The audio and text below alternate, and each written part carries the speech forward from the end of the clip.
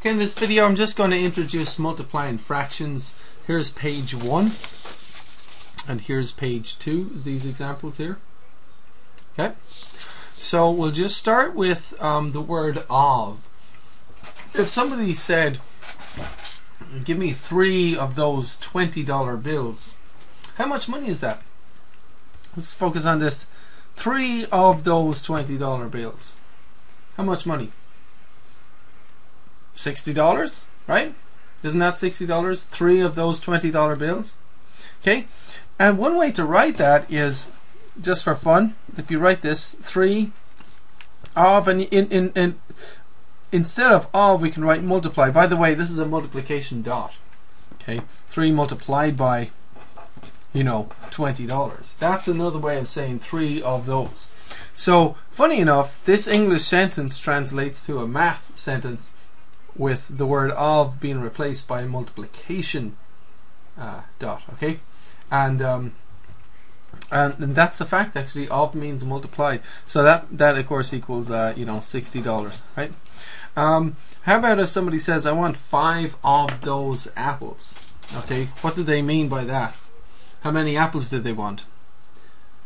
Five apples, right? Or just just for fun, we're just going to write it this way: five and change of to multiply times um, apple, right? A. How about that? A represents apple. And of course that can be just written 5A or 5 apples. So just for fun, I've just changed the word of to multiply. Just to show you that, that of actually uh, does mean multiply a lot of the time. So of means, the word of means multiply. That just helps us to understand multiplying fractions. And this will come up in, in, in other parts of math too, where of means multiply. Okay. So can you write down the answer to this if somebody said, uh, give me a half of 10? Half of $10. What would a half of $10 be?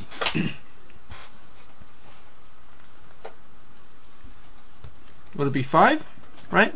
Okay. So you agree that a half of 10 is 5.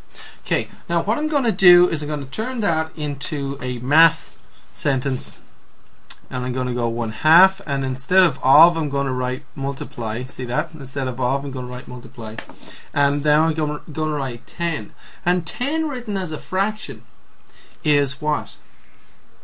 It's 10 over 10 over 1 10 is the same thing as 10 over 1 right so a half of 10 can be written 1 half multiplied by 10 over 1. Does that make sense? Right? And to multiply fractions, the rule is you simply multiply the tops 1 times 10 over, and then you multiply the bottoms 2 times 1, and that gives you 10 over 2, which is 10 divided by 2, 5, right? So basically, we've proven that the only what I've told you, the the only thing I've kind of told you uh, to remember is that when you multiply fractions, you multiply the tops, then you multiply the bottoms. Okay, so you go from here to here. So that's the the rule I want you to get from here to here. You just multiply tops, then multiply the bottoms, and then figure it out. So um, that's the rule for multiplying fractions. Let's do another one of these. If you were, if somebody asked you for two thirds of twelve. Could you please give me two thirds of twelve dollars? How much money is that? Now, first thing to think of would probably be what is one third of twelve dollars, right? Okay. I guess if you even want to write out 1, 2, 3, 4, 5, 6, 7, 8, 9, 10, 11, 12. There's 12 $1 bills, okay? If I split it into 3, you might find that 3 fours is 12, right? So you get uh, $4, $4, $4. See that? So one third of 12 would be $4. Two thirds, see this is one third, this is one third, this is one third. Two thirds is 8, right? So two thirds of 12 is definitely 8, isn't it? Okay. Now, um, I'm going to write that as a math sentence, so I'm going to go 2 thirds, and in place of of, I'm going to put multiply. And I'm going to write 12 as a fraction. How do you write 12 as a fraction? 12 over 1, right? 12 divided by 1 is 12, right? And the rule for multiplying fractions is you multiply the tops, 2 times 12, and then you multiply the bottoms, 3 times 1, and then you get the answer. Okay? So 2 times 12 gives 24, 3 times 1 gives 3, and 24 divided by 3 is 8, right? So the rule is multiply the tops, then multiply the bottoms. Okay? So so the rule is multiply the tops or the numerators, then multiply the bottoms. Multiply bottoms, and then of course I'm sure you'll you'll know that you need to simplify things afterwards. Okay, so you multiply tops, then you multiply the bottoms. That's basically the rule. Okay. Okay, so let's go to page two and see if you can do this one. Two thirds times five sevenths. And by all means, press pause and do all of these examples and then just check to see if you get the right answer on the video, right? I'm going to go slow so everybody gets a chance to uh, learn, right? So 2 thirds times 5 sevenths is, in fact, I can just multiply the tops. 2 times 5 over 3 times 7, and that gives 10 over 21. And of course I don't have any common factors anywhere, so nothing cross cancels, so that's just in lowest terms already, 10 over 21, right? And that's the answer.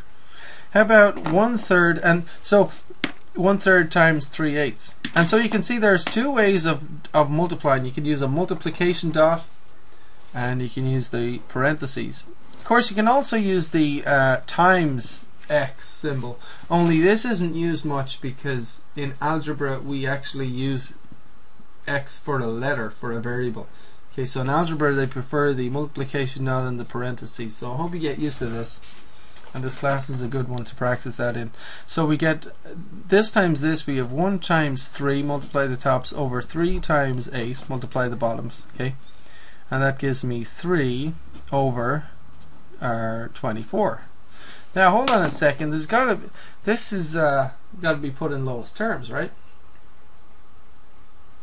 So what would you do? 3 into 3 goes once and 3 into 24 goes 8 times of course. So that gives you 1 over 8. Hmm. That kind of suggests that we should have been smart at the beginning and went we could have cross cancelled the 3's here, right? Or we could cross cancelled the 3's here. 3 and 3 goes once, 3 and 3 goes once. And then I'll have 1 times 1 is 1. 1 times 8 is 8 and that kind of speeds things up. So you can do it that way if you like. Anyway. Let's try, see if we can do this one. Press pause and do this one. 1 half times 1 7 times 1 fifth. Well I can just multiply all the tops. I can go you know 1 times 1 times 1 and then multiply all the bottoms. 2 times 7 times 5 and what does that give well on the top that should be 1 right on the bottom, 2 times 7 is 14. What's 5 times 14? Ends up being 70, right? So 1 70th, 1 over 70. And this one, 4 thirds times 2 fifths times 2 over 4. We can just go 4 times 2 times 2 over 3 times 5 times 4. And what do you get?